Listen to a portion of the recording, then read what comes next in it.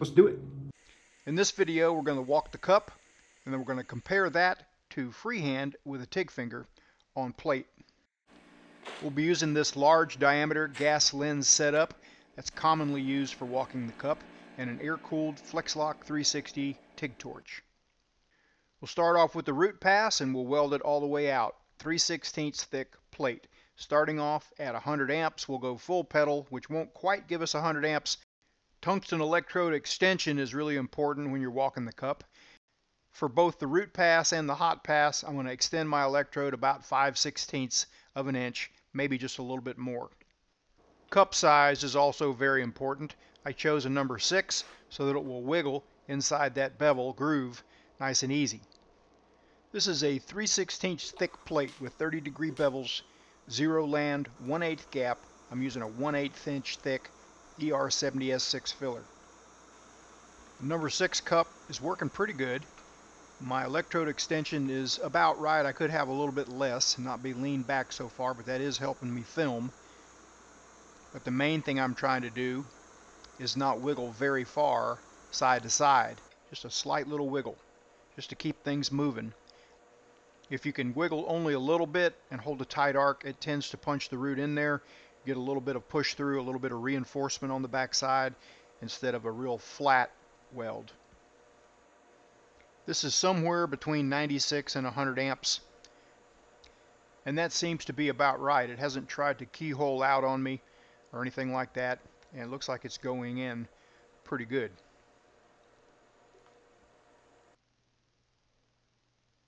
Here's a quick look at the backside. All right, let's do the bottom half. We'll freehand it with a TIG finger, trying to keep everything the same. Still set at 100 amps, still going to go full pedal, and that's going to give us about 97, 98 amps, something like that. There's one side of the TIG finger that has multiple layers of material, and that's the side you want to prop against the hot metal. And for this weld, it's going to slide there pretty nice. It's going to let me scoot on up there, hopefully. Now that gap has probably drawn shut just a little bit, but the ER70S6 filler, as opposed to S2, should help the root flow in there where I get some decent reinforcement and I break the walls down and everything will go okay. For me, I don't notice a tremendous difference between S2 and S6 when I'm just welding a bead on plate or something like that. But an open root, an open root situation where the backside is exposed to air and it oxidizes, the S6 seems to do a lot better. But oftentimes that is governed by a welding procedure. You have to use what the procedure calls out. Notice that I'm not going side to side at all on this freehand root. I'm only going forward and back. That's a benefit of freehanding. You don't have to go side to side. And that usually helps punch the root in, in my experience. I was on a job a long time ago and they practically insisted that you weld your root passes using that technique. Let's take a quick look at the root pass now. We'll take a closer look at it at the end when all of the passes are done. We're going to put a hot pass in it next. And oftentimes a hot pass isn't much hotter than the root. In this case, I bumped it up 10 amps. Seems about right.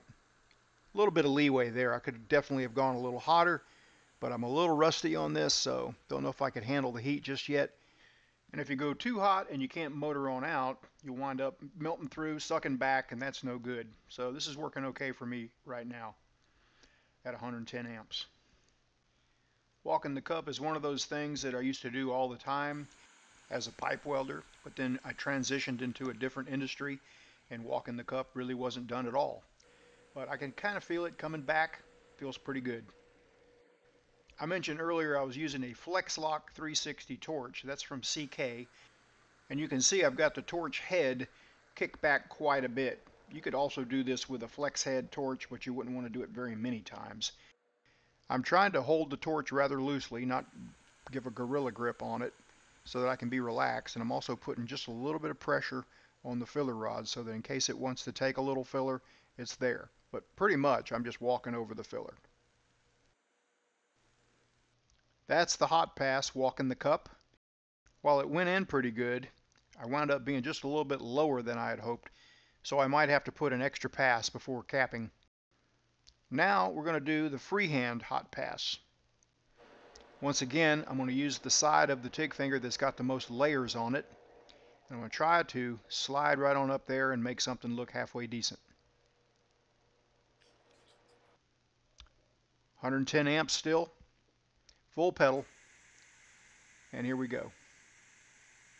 The motion is very similar to walking the cup, and I'm not sure exactly why, but oftentimes I can carry a little bit more metal freehanding than I can walking the cup. This looks like it's filling up just a little bit better. I should be able to cap this, this half with one more pass. That's what I'd like to do anyway, but we'll see.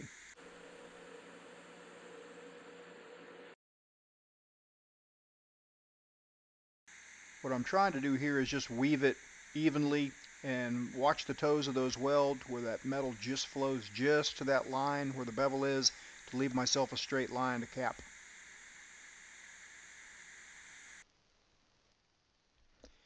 Now let's go to the third pass, walking the cup. I'm switching over to a number 8 cup here, now that I'm out of the bevel groove. While it's still good and hot, I'm going to give it a quick rundown with the wire wheel at low RPMs. And I'll get right back in there for that third pass. I can kind of tell that I'm going to need one more pass after this one. It's just barely above flush in some places and probably a little bit under in others but that's okay. And that's why another reason why you don't want to come very far outside those bevels. I'm just barely nipping them right here. Here's another good shot of, of how far I've got that torch angle kicked back, the torch head angle kicked back. And that's because it's plate. If this was pipe, I wouldn't have to have it kicked back quite like that. Here's the last arc shot of that third pass. I feel like if I were to get back and practice on walking the cup, I could bump it up another 10 or 20 amps and motor on out a lot quicker. But this is what I can do for right now. Let's take a quick look at it up close with a flashlight. And you can see right here, got some little low places. Not too bad. It's going to need another pass. So I'm going to go ahead and put a number 10 cup on for that last pass.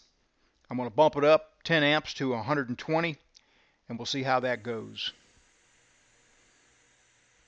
Looks like it's going okay. Definitely not too hot. Definitely not something I that's out of control. And again, I'm just just watching the toes, trying to go just a little bit wider than the the previous weave, just a little bit. Again, I'm keeping just a little bit of pressure on that 1 8 filler wire in case it wants to take a little bit, but it, it's really not taking any extra. I'm just walking over the wire for the most part. But I don't want it to come out of the puddle. So a little bit of pressure will keep it in there. We're just about getting to the top here, just about finished with this pass. And we'll take a look at it, see how we did. Fairly uniform, definitely got enough reinforcement. That's about right. Always room for improvement. Let's go ahead and do the third pass, and it's actually going to be the final pass with the TIG finger freehanding. For some reason, I'm usually able to carry just a little bit more metal when I freehand than when I walk the cup. I'm not sure why that is. I guess it just has something to do with the freedom to move where I want to move instead of where the, the cup walks me over to. But this, this one pass is going to do the job here. So the freehand will get done in three passes total, and the walk in the cup took four. Still at 120 amps. And just like with walking the cup, I'm keeping a little bit of pressure on that filler rod just in case. And it looks like it is taking a little bit here and there. That's probably the reason it's filling up a little bit quicker. I'm taking a little bit bigger steps, which is increasing my travel speed a little bit, which is not a bad thing. And propping right on that hot metal with that several layers of that TIG finger hanging in there pretty much as long as I want to, working like it's supposed to work. Let's get a little wire wheel on this whole thing now and take a look at the front side, compare the walk in the cup to the freehand, and we'll take a look at the root as well. Okay, this is the walk in the cup half, fairly uniform. And this is the freehand half using the TIG finger. Not as bad, probably doesn't look as good as the walk in the cup. The root, not much difference in the root walk in the cup versus the freehand. It pushed through there pretty good. There are a lot of different uses for a TIG finger, but the main thing it allows you to do is prop practically anywhere right next to the weld on hot metal, aluminum, stainless steel, pipe welding. You can learn more at weldmonger.com. Thanks for watching.